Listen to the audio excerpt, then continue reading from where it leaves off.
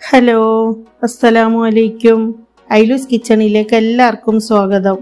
Pineapple കൊണ്ട് ഉണ്ടാക്കിയെടുക്കാൻ പറ്റിയ ഒരു പുഡിങ്ങിന്റെ റെസിപ്പിയുമായിട്ടാണ് ഞാൻ ഇന്ന് വന്നിട്ടുള്ളത്. ഇത് വളരെ ടേസ്റ്റിയും വളരെ പെട്ടെന്ന് തന്നെ ഉണ്ടാക്കിയെടുക്കാൻ പറ്റിയതുമാണ്. ഇതെങ്ങനെയാണ് വളരെ പെട്ടെന്ന് ഉണ്ടാക്കിയെടുക്കുന്നതെന്ന് നമുക്കൊന്ന് കണ്ടു നോക്കിയാലോ. വീഡിയോയിലേക്ക് പോകുന്നതിന് മുമ്പ് നിങ്ങൾ ഈ ചാനൽ ഇതുവരെ സബ്സ്ക്രൈബ് ചെയ്തിട്ടില്ലെങ്കിൽ ആ ചുവന്ന സബ്സ്ക്രൈബ് ബട്ടൺ ഒന്ന് പ്രസ് ചെയ്യണേ. അതിന്റെ സൈഡിൽ കാണുന്ന ആ ബെല്ലൈക്കണും കൂടി ഒന്ന് ക്ലിക്ക് ചെയ്ത് അതിൽ വരുന്ന ഓൾ എന്ന ഓപ്ഷനും കൂടി ഒന്ന് സെലക്ട് ചെയ്യണേ. എന്നാൽ ഇനി നമുക്ക് വീഡിയോയിലേക്ക് പോകാം. ഇതിലേക്ക് കുറച്ച് പൈനാപ്പിൾ പീസുകൾ അതിന്റെ സെന്റർ ഭാഗവും സൈഡിലെ മുള്ളൊക്കെ നല്ലപോലെ കട്ട് ചെയ്ത് വൃത്തിയാക്കി എടുത്തതാണ്. ഇതേപോലെ ഒരു ആറ് പീസ് പൈനാപ്പിളാണ് ഞാൻ എടുക്കുന്നത് ഈ പൈനാപ്പിൾ പീസുകൾ മിക്സി ജാറിൽ ഇട്ടിട്ടൊന്ന് അരിച്ചെടുക്കണം.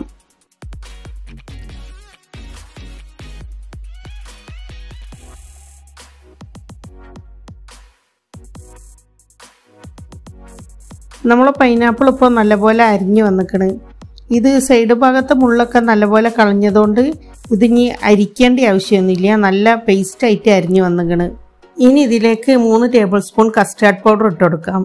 ഇത് പൈനാപ്പിൾ ഫ്ലേവർ ഉള്ള കസ്റ്റാർഡ് പൗഡറാണ് ഇനി അതില്ലെങ്കിൽ വാനില ഫ്ലേവർ ആയാലും ഏതായാലും കുഴപ്പമില്ല. ഇനി ഇതിലേക്ക് ഒരു മുക്കാൽ കപ്പ് പഞ്ചസാര ഇട്ട് കൊടുക്കാം. ഇനി ഇതിലേക്ക് അരക്കപ്പ് വെള്ളവും കൂടി ചേർത്ത് ഒന്നുകൂടി അടിച്ചെടുക്കാം.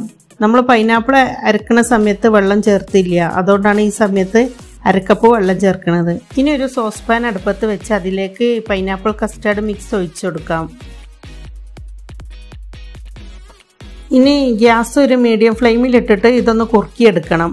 കൈ വെക്കാതെ ഇളക്കിക്കൊണ്ടേ ഇരിക്കണേ. അല്ലെങ്കിൽ പെട്ടെന്ന് കട്ട പിടിച്ചോവും.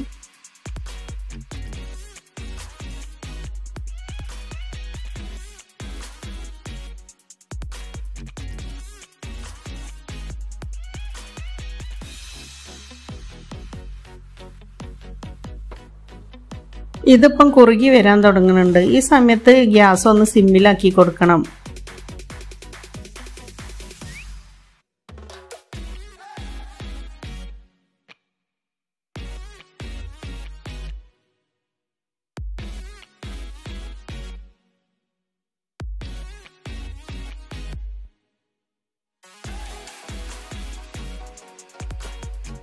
ഇതിപ്പോൾ നല്ലപോലെ കുറുകി കഴിഞ്ഞിക്കണ് ഈ ഒരു പാകത്തിൽ നമുക്ക് ഗ്യാസ് ഓഫ് ചെയ്യാം. ഇനി ഇതിലേക്ക് കുറച്ച് ബിസ്ക്കറ്റും കുറച്ച് പാലുമാണ് എടുത്തത്.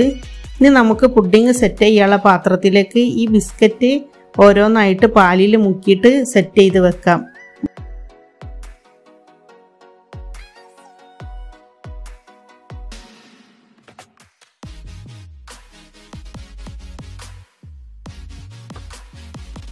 ഇടയിൽ വരുന്ന ഗ്യാപ്പിലൊക്കെ ഇതേപോലെ ബിസ്ക്കറ്റ് കഷ്ണം പൊട്ടിച്ചിട്ട് വെച്ചെടുത്താൽ മതി. ഇതിപ്പോൾ ബിസ്ക്കറ്റൊക്കെ മുഴുവനും ലെയർ ചെയ്ത് കഴിഞ്ഞിരിക്കണ്. ഇന്ന് നമ്മളെ പാൽ കുറച്ച് ഇതിന്റെ മേലേക്ക് ഒഴിച്ചു കൊടുക്കാം കുറേശ്ശെയായിട്ട്.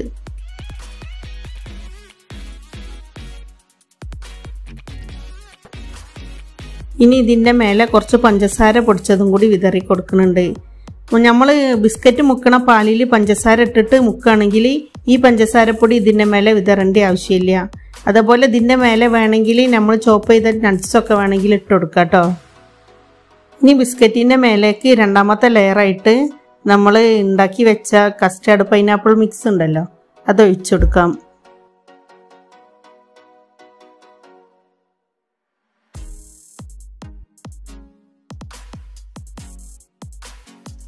മുകൾ ഭാഗം ഒന്ന് ലെവലാക്കി കൊടുക്കാം.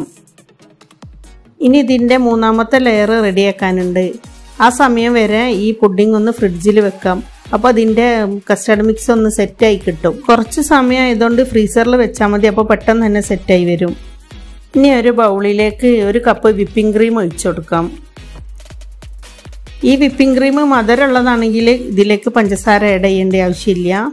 ഇത് ചില സമയത്ത് ഇത് മധുരമില്ലാത്ത വിപ്പിംഗ് ക്രീമും കിട്ടും.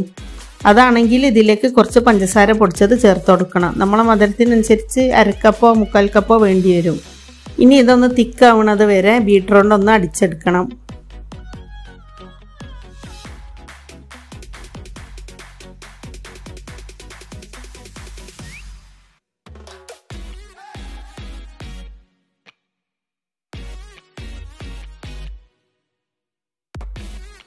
നമ്മൾ വിപ്പിംഗ് ക്രീം ഇപ്പോൾ തിക്കായി വന്നിക്കണ്. ഈ ഒരു പാകത്തിലാണ് വേണ്ടത്. ഇത് നമുക്ക് പുഡിങ്ങിന്റെ മേലെ ലെയർ ചെയ്ത് കൊടുക്കാം.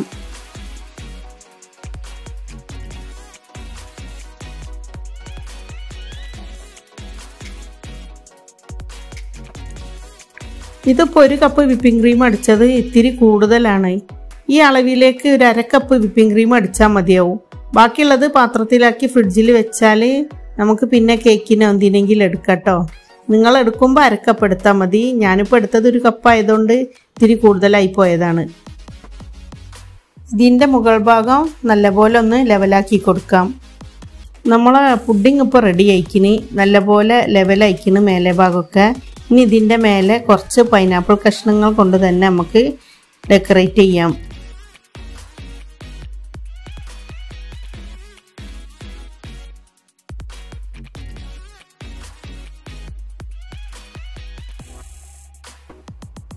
ഇതിനി കുറച്ച് സമയം ഫ്രിഡ്ജിൽ വെച്ചിട്ടൊന്ന് സെറ്റാക്കി എടുക്കാം.